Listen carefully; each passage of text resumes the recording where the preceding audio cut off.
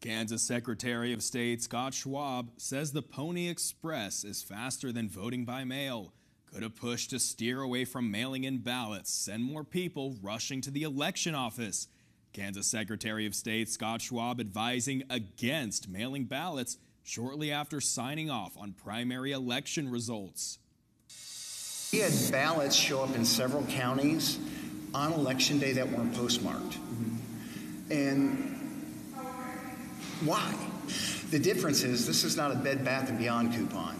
This is a person's ballot that was legally cast to vote that the post office basically disenfranchised those voters. The latest state data shows a steep decline in mail in ballots for the primary compared to the last presidential election year in 2020.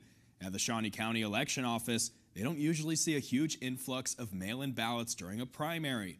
What if more people skeptical about mailing a ballot start voting in person heading into November? Typically, we'll see almost a thousand a day come through here on in a general election, so it'll be busy.